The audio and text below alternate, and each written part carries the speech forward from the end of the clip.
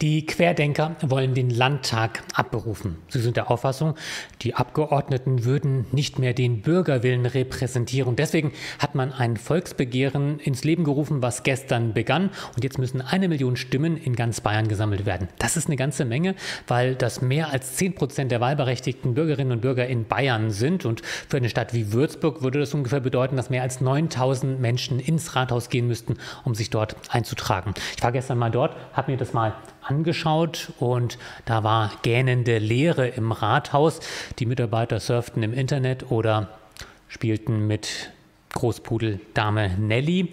Es hatten sich bis zum Nachmittag 39 Personen eingetragen. Es hätten ein paar hundert sein müssen, wenn man so in etwa auf den Anteil kommen wollte, der für jeden der 14 Tage jetzt zur Verfügung stünde. Mag sein, dass das am Schluss noch mal ein bisschen mehr wird, aber so wie es aussieht, werden wohl nicht 10 Prozent zusammenkommen, sondern vielleicht eher 1 Prozent oder 5 Prozent maximal. Und es sieht so aus, als würden eher 90 95 Prozent, vielleicht 99 Prozent der Menschen sich dafür entscheiden, nicht zu diesem Volksbegehren hinzugehen. Und das wirft eine interessante Frage auf, wie kommt eigentlich die Basis, die dieses Volksbegehren unterstützt, auf die Erwartung, dass sie das Volk repräsentiert, sie, die Basis und nicht die Parteien im, im äh, Landtag oder im Bundestag, einschließlich der AfD oder der Freien Wähler, wie sie alle heißen mögen. Aber keine dieser Altparteien, jetzt ist die AfD schon auf einmal eine Altpartei, sei also geeignet, den Bürgerwillen zu repräsentieren. Wir haben kurz vor der Bundestagswahl erlebt, dass die Basis davon ausging, acht Prozent aus dem Stand herauszuholen. Man glaubte das deswegen, weil man erstens die AfD anhand der Mitgliederzahlen schon fast überholt hatte und zweitens, weil es eine Umfrage gab, die in Hamburg in Auftrag gegeben worden war. Da hatte man verschiedene Leute per Telefon befragt. Es war also keine Telegram-Umfrage, wie man vielleicht glauben könnte. Man hatte aber nicht gefragt, wen würden Sie wählen? Da kamen immer die eins bis zwei Prozent raus, sondern die Frage war, könnten Sie sich vorstellen, ja, ja oder nein, die Partei zu wählen. Und bei dieser Frage kamen dann tatsächlich 8 Prozent heraus, die sich gesagt haben, jawohl, die würde ich wählen. Erscheint mir zwar immer noch recht viel, aber das war sozusagen der Anknüpfungspunkt, woraus diese Erwartungshaltung entstand und eben auch die große Enttäuschung nach dem Wahlabend, als es dann weniger waren.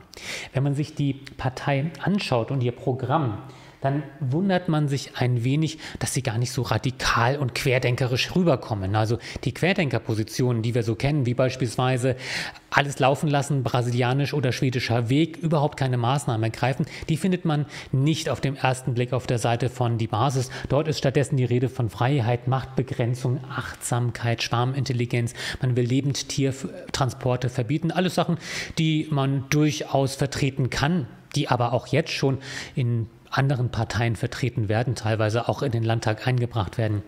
Die Strategie von die Partei ist allerdings so, dass die eigentlichen Positionen an anderer Stelle repräsentiert werden, nämlich durch die Spitzenkandidaten und Kandidaten. Zum Beispiel hier haben wir den Kanzlerkandidaten, Kollegen Dr. Rainer Füllmich, der in einem Plan spielt, sagt, was er sofort tun würde, wenn er Bundeskanzler wäre, ein Moratorium einsetzen und Impfungen nicht nur empfehlen, nicht mehr empfehlen und vor allem die Zulassungen sofort auszusetzen. Das heißt, man würde sozusagen nicht nur Geimpfte, Nichtimpfte gleichstellen, was man durchaus ja vertreten kann, sondern man würde sogar verhindern, dass sich weitere Menschen impfen können, selbst wenn sie es wollten. Herr Füllmich spricht an der Stelle zwar von Notzulassungen, die es gar nicht gibt, weil es reguläre Zulassungen sind. Vielleicht sollte es ein Hintertürchen sein. Oder er meint tatsächlich, dass die normalen, regulären, aber im letzten Jahr erst entstandenen Zulassungen Notzulassungen sind. Auf jeden Fall will er die Zulassungen der Impfstoffe verhindern. Und das ist schon eine ziemlich radikale These, denn das bedeutet eben gerade nicht Freiheit und Entscheidungsmöglichkeit, sondern es bedeutet letztendlich, dass sich keiner mehr impfen kann. Vielleicht ist das heute nicht mehr so schlimm, weil die meisten, die es wollten, es schon getan haben. Aber es ist eine Position, die man in dieser Radikalität bei die Basis nicht findet.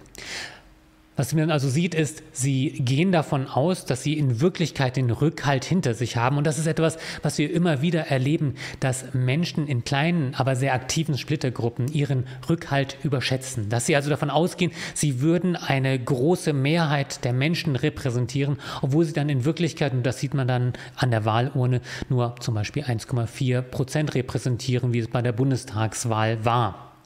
Und da muss man sagen, die glauben es vermutlich selbst. Die gehen davon aus, dass sie auch diese eine Million, also mehr als zehn Prozent mobilisieren. Zumindest wollen sie einen Achtungserfolg erzielen und damit Aufmerksamkeit erreichen. Da kann man sich dann fragen, sollte man denn überhaupt solche Videos wie dieses hier machen? Soll die Zeitung darüber berichten? Soll man über jedes Stöckchen springen, was sie einen hinhalten? Ja, ich springe jetzt mal drüber, denn ich habe jetzt auch nicht die Reichweite, wo ich jetzt Leute aktivieren würde, die jetzt deswegen womöglich zum Rathaus gehen. Und natürlich natürlich kann sich jeder selbst die Meinung bilden.